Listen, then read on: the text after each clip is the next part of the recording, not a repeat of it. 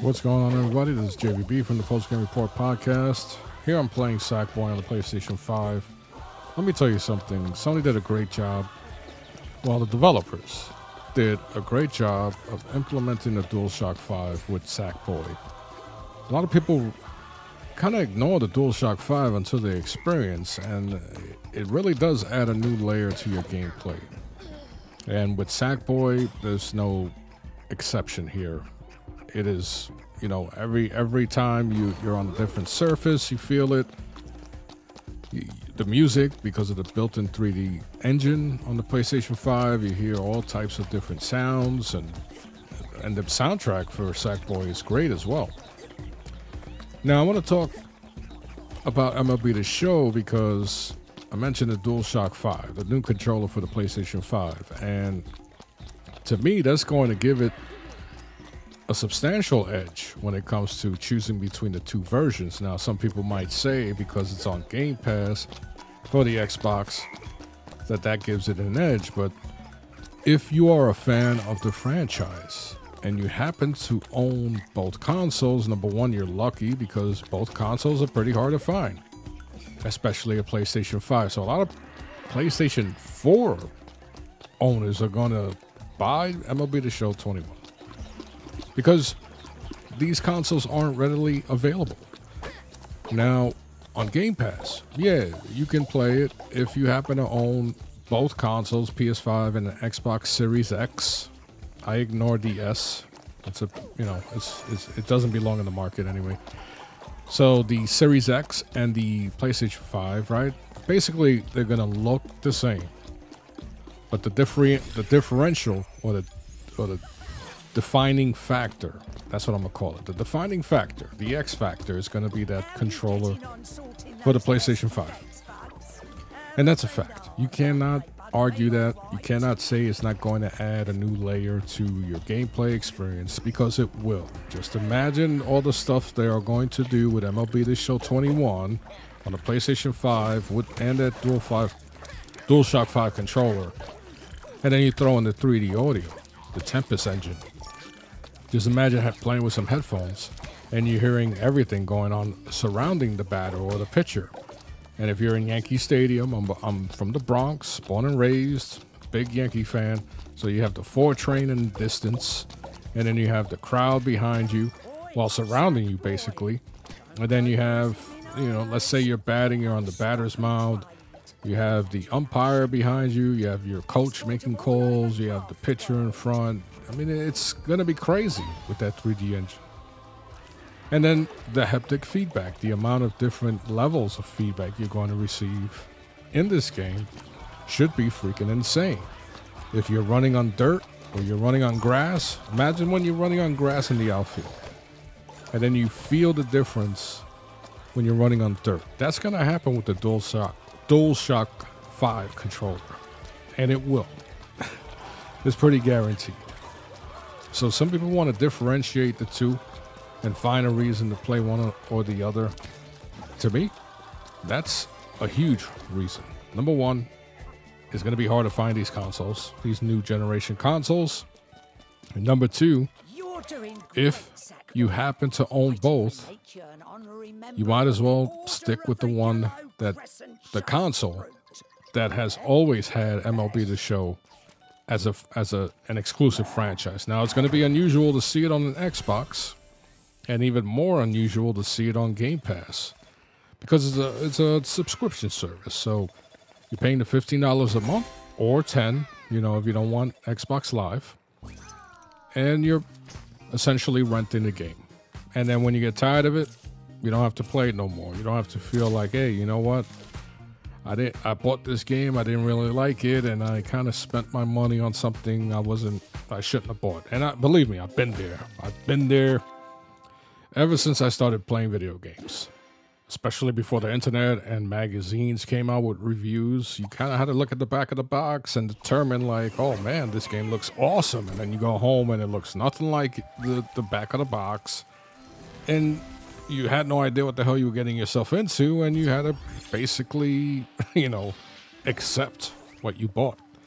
So, having this game rental service gives you that flexibility. If you if you never were a fan of MLB The Show 21, then you know what? You can play, you can try, you can brag about it on the social, you know, networks, and then never touch it again, right? That's that's what a lot of people are going to do on the Xbox side. But those who have been dedicated to MLB The Show and the franchise, a lot of a lot of those sales are going to come from the PlayStation 4 simply because there aren't PlayStation 5s readily available, and that's the inevitable. You know, that's inevitable. And then you have on the PlayStation 5, you're going to have the same visuals, right? I, I, I don't think there's going to be a difference in visual quality between the PlayStation and the Xbox. But that haptic feedback, that controller, that is the that is what is going to set it apart from the Xbox Series. And that's just my opinion. And here's the thing, right?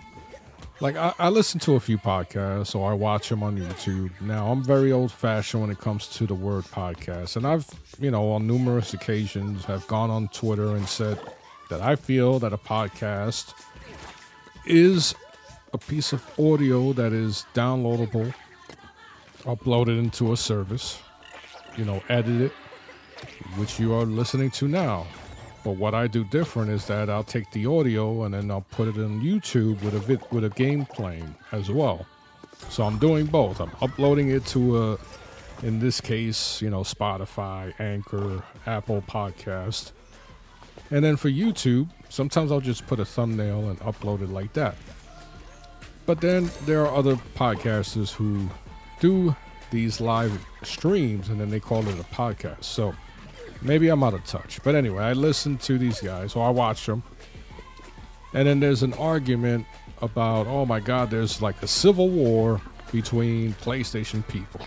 You know, now there is a small demographic of us who, like myself, I prefer the PlayStation console. That can change, of course. Anything can change. We're consumers.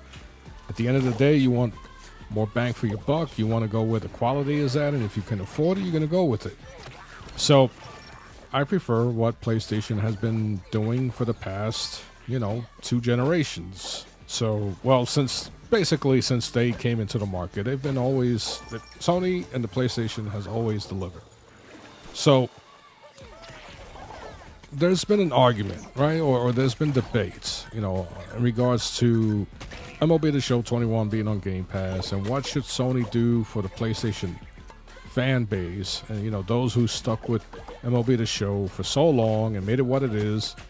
And it's I remember back in the day when when MLB the show wasn't that good compared to some of the competition, and then during the PS3 era, it just skyrocketed because the quality became better. It became a true simulation. It's, it's a difficult game. It's a difficult baseball game, and if you put it on like if you leave it on the default difficulty, it adapts to your playstyle. And the better you get, the better the CPU gets. So it's a really in depth game, great looking.